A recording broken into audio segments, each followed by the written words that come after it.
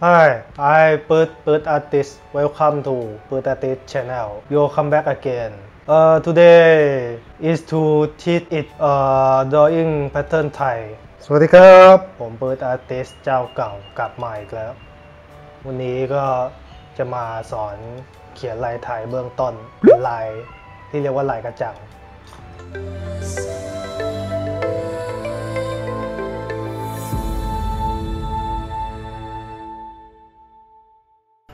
Uh, first of all, don't forget to hit the tab, hit subscribe and like fan page on Facebook page title ควรพร artist ไทยครับก่อนอื่นจะเข้าเนื้อหาแล้วก็อย่าลืมเหมือนเดิมกดติดตามกด subscribe ให้ช่องของผมด้วยกันนะครับ เปิด artist channel แล้วก็เหมือนเดิมฝากเพจไว้เพจหนึ่งเพจที่รวบรวมผลงานผมเองขวดพร artist ไทยก็เข้าไปกดไลค์กันเยอะๆนะครับ แล้วก็ กดแชร์ไปด้วยก็ดีครับ เพราะว่าเป็นเพจที่รวบรวมผลงานของผม ก็เดี๋ยวมาเข้าเนื้อหากันเลยดีกว่า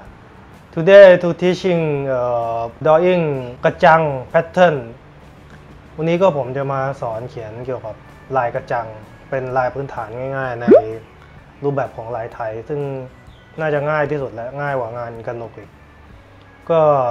ขึ้นตัวอย่างไว้ให้รูปที่จะเขียนวันนี้แหละ อย่างแรกก็คือเป็นกระจัง กระจังตาอ้อยธรรมดา แล้วก็จะมีรูปแบบของการออซอยซอยไอตัวลายกระจังตาอ้อยเนี่ยให้มันให้มันใหญ่ขึ้นให้มันสวยขึ้น ทีนี้ก่อนจะเริ่มก็เดี๋ยวผมแนะนำเบสิกเบสิกนิดนึงคือพื้นฐาน เพราะว่ามันจะเป็นมันจะอยู่ในฝ่ายตัวอย่างการสอนของของงานผมด้วย เพราะว่าจะได้เข้าใจให้ตรงกัน ผมจะมีเส้นอยู่ 3 เส้นที่ ที่จะใช้ในการขึ้นขึ้นรูปร่างของตัวลายไทย เส้นแรกคือเส้นสีแดง ผมจะแทนด้วยดินสอสี คือจะอยู่ในคลิปนั่นแหละ เดี๋ยวรอ เดี๋ยวรอดูในคลิปต่อไป คือดินสอสีที่เป็นสีแดงคือจะแสดงเอ่อเป็นเส้นโครงสร้าง เป็นรูปแบบของเอ่อเลขาคณิต เช่นสี่เหลี่ยมสามเหลี่ยม เส้นโครงสร้างมีไว้ทำไม มีเพื่อให้เป็นไกด์ให้ให้เราเข้าใจว่า ที่มาที่ไปของเส้นโค้งเส้นหยักอะไรพวกนี้มันมาจากไหน นั่นคือผมจะแทนด้วยเส้นสีแดง แล้วก็อันที่สองคือเส้นสีน้ำเงิน เส้นสีน้ำเงินคือเหมือนกัน ผมจะแทนเป็นการล่าง คือจะเป็นตัวเส้นที่ใช้ใช้ต่อจากเส้นสีแดง เป็นเส้นดินสอสีน้ำเงิน เดี๋ยวดูคลิปก็เห็นเองครับ แล้วเส้นสุดท้ายคือเส้นปากกาเมจิก อันนี้คือจะเป็นเส้นที่ไว้เน้นลวดลายให้แบบเห็นชัดๆว่า ว่าเวลาเสร็จแล้วเนี่ยมันเป็นยังไงก็เนี่ยครับก็ 3 เส้นจะประกอบขึ้นเป็นสำหรับการสอนเขียนลายใน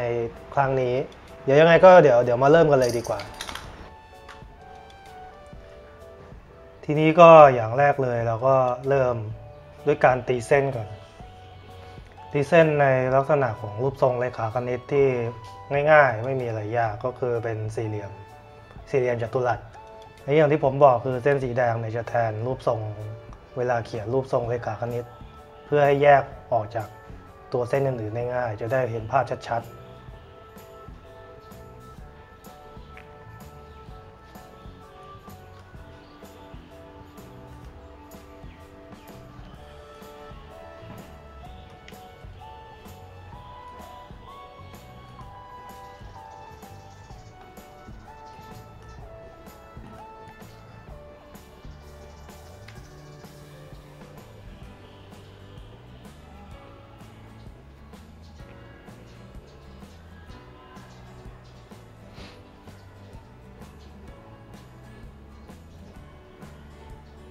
เนี่ยก็ตีเส้นเป็นรูปสี่เหลี่ยมจัตุรัสก่อน แล้วก็แบ่งครึ่งตัวสี่เหลี่ยมจัตุรัสจัตุรัสเนี่ยให้กึ่งกลาง กึ่งกลางทั้งสองฝั่งเลย ก็จะได้สี่เหลี่ยมจัตุรัสอีกสี่อีกสี่สี่อัน แล้วก็แบ่งกลางไอ้ตัวสี่เหลี่ยมจัตุรัสเนี่ยด้วยด้วยเส้นกลางอีกอีกทีหนึ่งตามภาพเลยครับ แล้วก็ตีเส้นทะแยง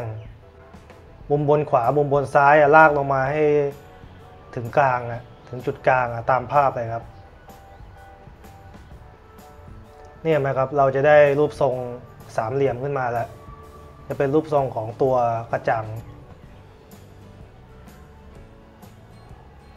ทีนี้ก็ผมจะเพิ่มเติมนิดนึงคือผมจะแบ่งให้เส้นข้างล่างเนี่ยเป็นแบ่งครึ่งอีกทีหนึ่งก็ตามภาพเลยครับ แล้วก็ใช้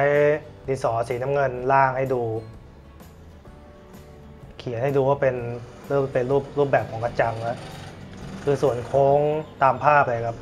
ตามวิดีโอเลย ส่วนโค้งตรงเส้นเส้นไกด์สีแดงเนี่ย จะอยู่ตรงมุมล่าง แล้วก็จะใส่รูปตัวบากเขาเรียกว่าบากลายเนี่ยครับบากสองข้าง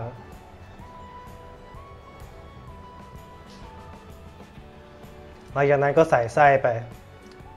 ไส้ของตัวกระจังคือก็จะเป็นตัวกระจังตัวเล็กอีกตัวหนึ่ง ผมเขียนเขียนเส้นสีน้ำเงินไว้ให้ เนี่ยครับก็ได้แล้ว ตัวกระจังหนึ่งตัว ง่ายๆเลยครับไม่มีอะไรยาก เดี๋ยวผมจะมาเน้นเส้นเมจิกให้ดูแล้วกัน เนี่ยครับพอเน้นเส้นเมจิกก็จะเริ่มเห็นรูปร่างชัดเจนแล้ว ตัวกระจังมันเป็นลายพื้นฐานง่ายๆครับไม่ไม่มีอะไรยาก น่าจะง่ายที่สุดในบรรดาลวดลายทั้งหลายแหล่แล้วอันนี้เป็นเบสิกพื้นฐานลายไทยเลยครับ ไม่มีอะไรยากนี่ครับดูเป็นภาพนิ่งชัดๆเลย เห็นไหมครับ ไม่มีอะไรยาก ก็ลองไปฝึกดูเองแล้วกันครับ เดี๋ยวผมจะต่อ อีกตัวแล้วกันคือผมจะซอยตัวลายลายเล็ก ๆ เนี่ย คือจะขยายให้มันใหญ่ขึ้น เพื่อที่ว่า จะได้รู้วิธีการซอยลายเวลาตัวตัวลายเนี่ยมันมันมันมีความใหญ่ขึ้น เพราะว่าเวลางานมันใหญ่ ๆ ขึ้นเนี่ยไอตัวที่ที่เราเขียนไปครั้งแรกเนี่ยมันจะดูไม่ไม่มีรายละเอียดมากนัก มันจะดูโล่งๆ ทีนี้เราจะมาซอยแบบรายละเอียดกันดีกว่า นี่ครับ ก็เริ่มเหมือนเดิมเลยตีสี่เหลี่ยมจัตุรัส เหมือนเหมือนเมื่อกี้เต๊ะไม่มีอะไรแตกต่างกันเลย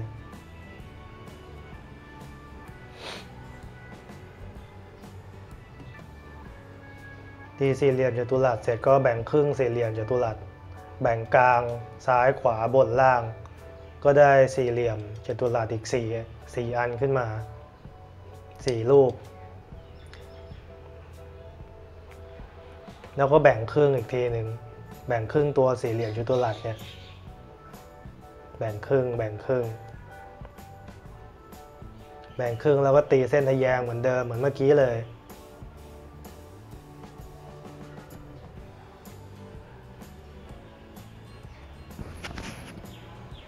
เนี่ยครับตีเส้นทะแยงเหมือนกันเด้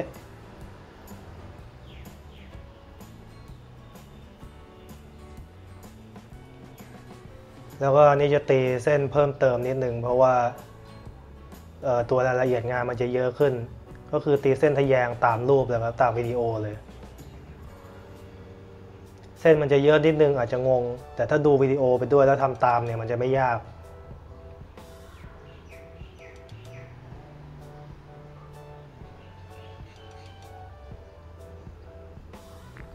เนี่ยครับแบ่งครึ่งแบ่งครึ่งแบ่งทะแยง ก็ถ้าใครไม่เข้าใจยังไงก็ถามถามคอมเมนต์ถามถามผมได้ครับคอมเมนต์ไว้ด้านล่างเนี่ย ผมจะมาตอบให้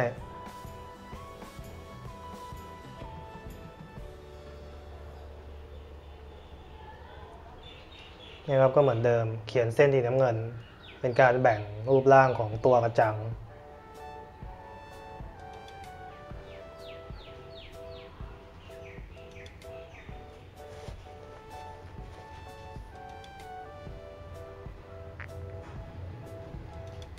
ก็ขึ้นโคเหมือนเหมือนเมื่อกี้แหละเหมือนเหมือนกระจังตัวเล็กเมื่อกี้แหละเหมือนกันเดะเลย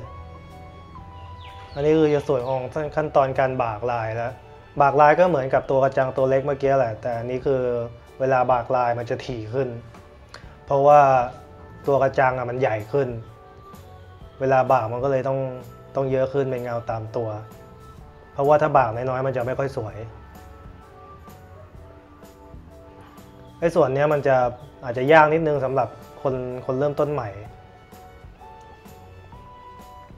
ก็ไปฝึกอันแรกที่ผมสอนให้เมื่อกี้เป็นกระจังแบบง่ายๆให้ชำนาญแล้วก็ถ้าเกิดเก่งแล้วเนี่ยการจะมาทำไอ้ไอ้ตัวเนี้ยมันจะไม่ยากนี่ครับใส่ลายบากลายไป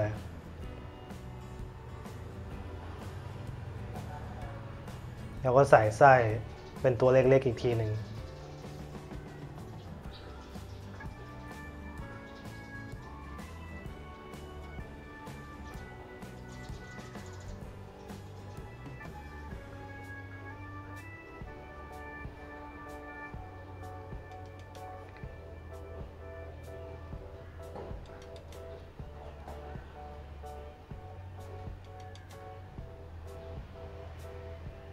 เนี่ยครับผมเน้นเส้นให้มันเข้มขึ้นอีกนิดนึง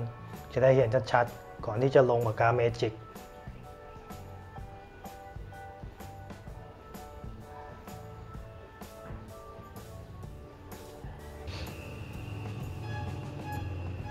เนี่ยครับ จะมีการซอยไอตัวบากลายเล็กๆเข้าไปอีก มีบากใหญ่แล้วก็มีบากเล็กนะครับ เดี๋ยวสักพักผมจะทำคลิปเกี่ยวกับอธิบายการบาก บากลายขึ้นขึ้นอีกคลิปหนึ่งเฉพาะ คือจะได้เข้าใจว่าอะไรคือการบาก เพราะว่าถ้าบางคนแบบมาใหม่ๆคืออาจจะไม่ไม่เข้าใจว่าอะไรคือบากอะไรคือซอยลายอะไรพวกนี้เนี่ยทีนี้ก็มาลงปากกาเมจิกปากกาไว้บอร์ดสีน้ำเงิน ได้เห็นชัดๆเห็นรูปทรงมันชัดๆว่ามันเป็นยังไง